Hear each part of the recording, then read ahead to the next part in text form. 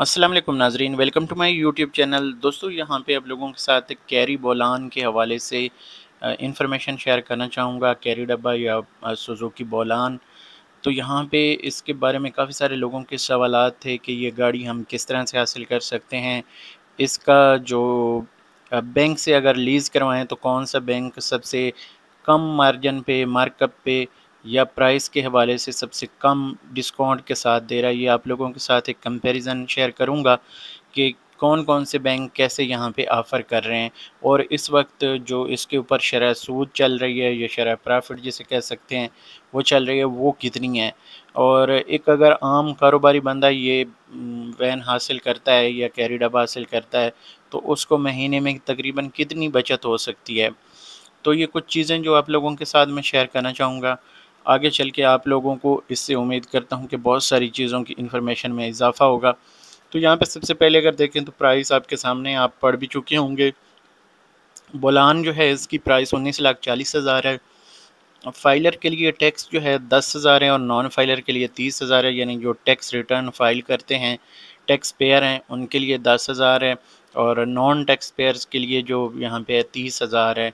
इसके बाद अगर कार्गो वैन देखें तो इसी में उन्नीस लाख चवालीस हज़ार की है और इसी तरह इसके ऊपर भी आपसे टैक्स वगैरह लिया जाएगा।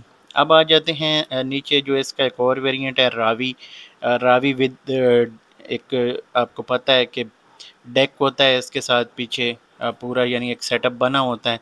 अगर उस समेत लेंगे तो ये अठारह लाख छप्पन हज़ार की है।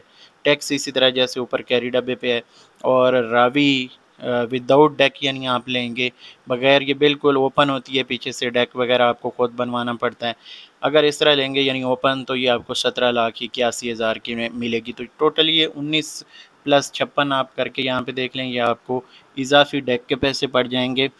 अब आ जाते हैं बैंक लीजिंग की तरफ़। बैंक लीजिंग दोस्तों, इस वक्त जो असल जो फैक्ट्स एंड फिगर्स हैं, जो इस वक्त आपको सबसे पहले मैं बता दूँ कि ग्राउंड रियलिटीज़ क्या हैं। क्योंकि मैं स्टेट बैंक ऑफ़ पाकिस्तान से रिलेटेड काफ़ी सारी इन्फॉर्मेशन मेरे दूसरे चैनल है, उन पर मैं शेयर करता रहता हूँ।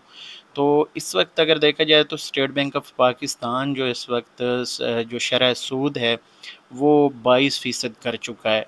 जो कि अगर देखा जाए तो पाकिस्तानी हिस्ट्री में आई थिंक सबसे ज़्यादा है। इससे पहले शायद इतनी शरह सूद कभी ना हुई हो और ये शरह सूद मज़ीद ऊपर जाएगी। यानी जैसे जैसे ये अभी आईएमएफ के ये प्रोग्राम लेते जाएँगे तो आईएमएफ इनसे कह, कहता जाएगा कि ये शरह सूद बढ़ाते जाएँ।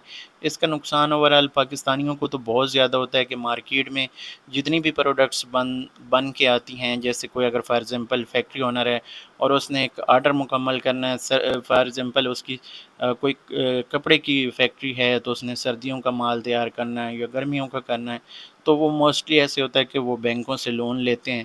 चार महीने के लिए छः महीने के लिए तो उसके ऊपर रिटर्न उनको जब इतना ज़्यादा देना पड़ता है तो वो किसी भी चीज़ की जो मार्केट वैल्यू है, वो ज़्यादा हो जाती है प्रोडक्शन कास्ट उसकी ज़्यादा हो जाती है।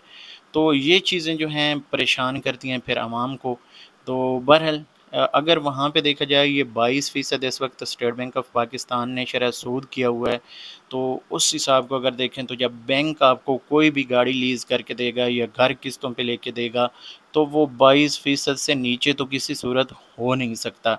हाँ एक सूरत होती है कि जैसे हुकूमत कोई, ये जैसे कर्ज़ा स्कीम इन्होंने लॉन्च की थी तो उसमें आप गाड़ी अप्लाई कर सकते हैं या इस तरह की जो हुकूमत की दूसरी स्कीमें आती हैं उसमें आपको सिर्फ़ गाड़ी सस्ती मिल सकती है या घर सस्ता मिल सकता है। अदरवाइज़ आप किसी भी प्राइवेट बैंक के पास जाएँगे तो वो आपको बहुत महँगा और 22 फ़ीसद से कम अज़ कम चार से पाँच फ़ीसद या कुछ बैंक जो हैं वो दस फ़ीसद तक भी ऊपर प्रॉफिट लेते हैं। उसका मैं आगे चल के आप लोगों के साथ सबूत शेयर करता हूँ कि इस वक्त मार्केट में चल क्या रहा है। तो यहाँ पे ये आपके पास इंफॉर्मेशन पहुँची। अब यहाँ पे देखें अगर जो यहाँ पे जो प्रॉफिट रेट्स के हवाले से यहाँ पे अगर देखें जो मुख्तलिफ़ बैंक जो वसूल कर रहे हैं फॉर एग्ज़ाम्पल यही मैंने इन्फॉर्मेशन यहाँ पे शेयर करने की कोशिश की है कि ये देखें यहाँ पे वैल्यू मैंने उन्नीस लाख चालीस हज़ार डाली है, पाँच साल की ये लीजिंग होगी और कम से कम पंद्रह परसेंट मैंने रखा, लेकिन ये पंद्रह परसेंट नहीं होगा, ये तीस फ़ीसद होगा, इससे कम ये नहीं होगा। तो जब इसको हम कंपेयर करेंगे ये तीस फ़ीसद करके तो फिर ये आपके पास जो है थोड़ी सी चेंज होगी इसकी किस्त भी और ये परसेंटेज भी आई थिंक थोड़ा बहुत इसमें फ़र्क आ सकता है, लेकिन ज़्यादा नहीं। तो HBL ने आई थिंक यहाँ पे अभी तक अपडेट नहीं किया, लेकिन मिज़ान बैंक के यहाँ पे आप देखें तो ये अट्ठाईस इशारिया अट्ठाईस फ़ीसद का ये इस वक्त प्रॉफिट ले रहा है मार्कअप ले रहा है। या सूद ले रहा है दूसरे लफ्ज़ों में। लेकिन ये जो जब आप गाड़ी लीज़ करवाते हैं, बैंक कहता है कि हम आपको ये सूद पे कोई भी चीज़ नहीं देते, बल्कि आपको रेंट पे दे देते हैं। फॉर एग्ज़ाम्पल एक गाड़ी आप ले रहे हैं तो वो आपसे मंथली जो किस्त लेगा, वो रेंट की माद में लेता है। तो इस तरह फतवे इन्होंने लिए हुए हैं मुख्तलिफ़ मुफ्तियान कराम से कि ये सूद वाला सीन इन्होंने दरमियान से हटाया हुआ है। और मुफ्तियान कराम ने बाकायदा फतवे जारी किए हुए हैं कि ये जायज़ है। मैं उनकी बात कर रहा हूँ, अपने तरफ़ से मैं इसमें कुछ ऐड नहीं कर रहा। बाकी आप ख़ुद इसके ऊपर तसली तहकीक कर सकते हैं, अगर आपका दिल माने तो आप चाहें तो ले सकते हैं। यहाँ पे देखें तो ये अट्ठाईस फ़ीसद जो बनता है इसके साथ टोटल आपको जो पेमेंट वापस करनी पड़ेगी, ये पच्चीस लाख पचास हज़ार एडवांस निकाल के करनी पड़ेगी। इसमें अगर देखें तो यहाँ यहाँ पे पाँच लाख बयासी हज़ार एडवांस होगा और जो लोन अमाउंट है टोटल वो आप बैंक से ले रहे हैं तेरह लाख अट्ठावन हज़ार। अच्छा गाड़ी की वैल्यू आ रही है उन्नीस लाख चालीस हज़ार। ये यहाँ पे आपको पता चल रहा होगा कि पाँच लाख पाँच हज़ार टोटल जो यहाँ पे जो खाता आपका बनेगा, यानी एडवांस की सूरत में, लेकिन इसमें जो दीगर इसमें टैक्सेस वगैरह या इंश्योरेंस वगैरह, वो डाल के ये आपसे पाँच लाख बयासी हज़ार वसूल करेंगे। तो ये मुल्तान सिटी के लिए आप दूसरी कोई सिटी भी चेंज कर सकते हैं। यहाँ पे अगर आप देखना चाहें तो मवाजना डॉट कॉम वेबसाइट है। वहाँ से मैं ये शेयर कर रहा हूँ। उनके शुक्रिया भी अदा करना चाहूँगा कि उन्होंने इतनी सारी अच्छी इन्फॉर्मेशन यहाँ पे डाली हुई है। बाकी यहाँ पे अगर नीचे आते हैं तो H B L H B L ने अभी तक अपडेट नहीं किया, लेकिन ये भी कम अज़ कम पच्चीस से छब्बीस फ़ीसद तक इनका प्रॉफिट रेट है। इसके बाद अगर नीचे आ जाएँ तो यू बी एल जो है थोड़ा सा रीज़नेबल है। साढ़े सत्ताईस फ़ीसद के करीब ये परसेंटेज ले रहा है और ये आपसे पच्चीस लाख तेरह हज़ार वापस लेगा। तो यहाँ पे पच्चीस पचास है, तेरह है इस तरह। और किस्त मिज़ान की बयालीस हज़ार पाँच सौ बन रही है, इसकी इकतालीस हज़ार तकरीबन नौ सौ बन रही है। अच्छा बाकी चीज़ें सेम एडवांस वगैरह सब कुछ सेम रहेगा। प्रोसेस फ़ीस में थोड़ा थोड़ा फ़र्क है। तो वो टोटल कॉल मिला के आगे जाके यहाँ पे आप किसी भी बैंक का अगर देखना चाहें तो कंपेयर कर सकते हैं यहाँ पे। अब आ जाते हैं दोस्तों यहाँ पे एम सी बी के। एम सी बी भी थोड़ा सा रिजनेबल है। दूसरे बैंकों की नस्बत तो ये पच्चीस लाख पच्चीस लाख छब्बीस हज़ार आपसे टोटल वसूल करेगा। बयालीस हज़ार एक सौ दो रुपये की किस्त में और आठ हज़ार इसकी प्रोसेस फ़ीस होगी। इसके बाद है जी जे एस बैंक ये अट्ठाईस इशारिया अट्ठाईस ही ले रहा है और सेम ऊपर जैसे हमने यहाँ पे मिज़ान बैंक को देखा है, ये भी इसी तरह आपसे सेम एज़ इसकी किस्त भी होगी और सारा कुछ, लेकिन प्रोसेस फ़ीस इसकी है बारह हज़ार। इसके बाद सुनहरी बैंक की तरफ़ आ जाएँ तो ये भी अट्ठाईस इशारिया अट्ठाईस ले रहा है।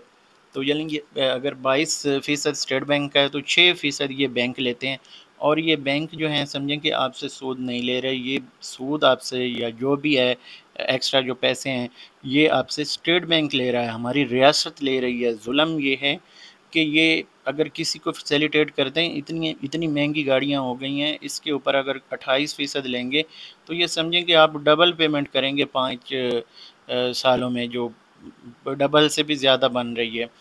तो आलमोस्ट यानी डबल होती है हर साल जो टोटल रकम है, उसमें से जो माइनस हो जाती है टोटल जो पेमेंट आप कर देते हैं, वो माइनस हो जाती है।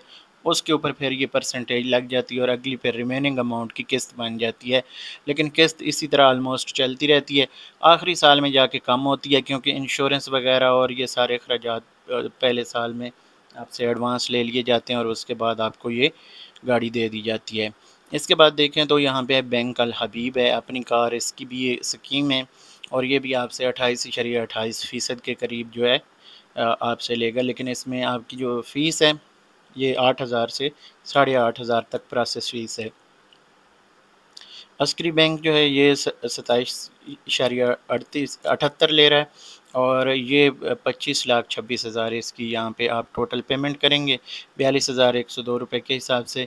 नीचे आ जाएँ तो दोस्तों, यहाँ पे है अल्फला बैंक सताईस इशरिया अड़तालीस। पच्चीस लाख ग्यारह हज़ार चार सौ सैंतालीस रुपये आपसे टोटल लेगा ये बैंक और इकतालीस हज़ार आठ सौ सतावन रुपये किस्त बनेंगी। आठ हज़ार प्रोसेस फ़ीस होगी मैंने इससे। पहले एक गाड़ी ली हुई है वैगन आर 2018 में मैंने ली थी और उसकी किस्त अभी चल रही है तकरीबन साढ़े इक्कीस हज़ार उसकी किस्त चल रही है तो आप खुद अंदाज़ा लगा सकते हैं कि अगर आप ये लीजिंग करवाते हैं तो आपको कितना फ़ायदा हो सकता है। इसके बाद दोस्तों, फैसल बैंक है, फैसल बैंक बत्तीस इशारिया अट्ठाईस फ़ीसद पे, जो कि अगर देखा जाए तो इस वक्त पाकिस्तान में सबसे महँगी गाड़ी लीज़ करके दे रहा है और तकरीबन डबल से भी ज़्यादा आपसे पैसे वसूल कर रहा है, जो कि रिमेनिंग में उन पे डबल से ज़्यादा वसूल कर रहा है। तो यहाँ पे ये सताईस लाख इक्यावन हज़ार के करीब ये पैसे आपसे तकरीबन ले रहा है और पैंतालीस हज़ार आठ सौ सतावन रुपये किस्त है, सात हज़ार इसकी प्रोसेस फ़ीस है। अल्फला बैंक जो इस्लामिक है, ये ग्रीन कलर वाला, ये आपसे सताईस शरिया अट्ठाईस फ़ीसद, यानी एक फ़ीसद दूसरे कमर्शियल बैंक से ये कम ले रहा है, यानी इस पे देखें तो पच्चीस लाख रुपए तकरीबन ये आपसे वसूल करेगा। इकतालीस हज़ार छः सौ पचानवे रुपये किस्त बनेंगी हर महीने आठ हज़ार पाँच सौ इसकी प्रोसेस फ़ीस है। इसके बाद दोस्तों यहाँ पे आ जाएँ तो बैंक इस्लामी है। ये बस नाम का इस्लामी है, बाकी इसमें इस्लामी कुछ भी नहीं है। अट्ठाईस शरिया अठहत्तर के हिसाब से ये आपसे मार्कअप वसूल करेगा और टोटल पच्चीस लाख पचहत्तर हज़ार एडवांस के अलावा आपसे वसूल करेगा, जो कि बयालीस हज़ार नौ सौ चौबीस रुपये की किस्त हर महीने बनेगी और छः हज़ार तीन सौ इसकी प्रोसेस फ़ीस है। इसके बाद दोस्तों यहाँ पे अगर देखें तो दुबई आटो फाइनेंस यानी दुबई बैंक जो है, दुबई इस्लामी इसको भी कहते हैं, बैंक इस्लामी, बैंक दुबई इस्लामी यहाँ पे अगर देखें तो लिखा हुआ है।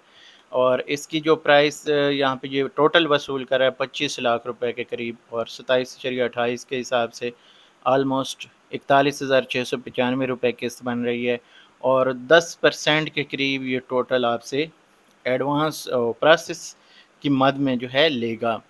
अब ये दस परसेंट हो सकता है कि किस्त का हो या इसका जहाँ पे क्लियर नहीं है कि किस तरह यहाँ पे ये ले रहा है। इसके अलावा दोस्तों यहाँ पे अगर देखा जाए तो अट्ठाईस शरिया अठहत्तर के हिसाब से ये पच्चीस लाख पचहत्तर हज़ार आपसे वसूल करेगा और ये है जी M C B bank M I यहाँ पर लिखा हुआ है। तो यहाँ पे जनाब ये आपसे पच्चीस लाख पचहत्तर हज़ार वसूल कर रहा है, बयालीस हज़ार नौ सौ चौबीस रुपये की किस्त हर महीने की होगी। आठ हज़ार प्रोसेस फ़ीस रहेगी। बैंक अल हबीब जो है, ये आपसे सत्रह फ़ीसद आई थिंक इसकी अभी इन्फॉर्मेशन अपडेट नहीं हुई। बाकी यहाँ पे अगर स्टैंडर्ड चार्टर को देखें तो ये भी सताईस शरिया अट्ठाईस फ़ीसद के हिसाब से ले रहा है। पच्चीस लाख वापस लेगा, इकतालीस हज़ार छः सौ पचानवे रुपये की किस्त बनेगी इसकी। तो ये दोस्तों इस वक्त तक कुछ डिटेल्स हैं, कुछ इसमें से अपडेट नहीं भी हुई, लेकिन आलमोस्ट साढ़े सताईस से लेके बत्तीस फ़ीसद तक का इस वक्त मार्कअप है। मुख्तलिफ़ बैंकों के ऊपर। तो अगर देखें जो मेरी यहाँ पे आप लोगों को मशवरा हो सकता है, जो मेरी पर्सनल अपना एक्सपीरियंस है, अल्फला बैंक जो है, ये रीज़नेबल बैंक है। इनके जो ज़्यादा नखरे भी नहीं होते, इनके पास एक वैरायटी भी है कि आप यूज्ड गाड़ियों में भी ले सकते हैं और न्यू गाड़ियों में भी ले सकते हैं। इनके पास ऐसी गाड़ियाँ भी होती हैं, जो इन्होंने पकड़ी होती हैं, जो लोग किस्तें पे नहीं कर सकते तो वो गाड़ियाँ इनके पास वापस आ जाती हैं।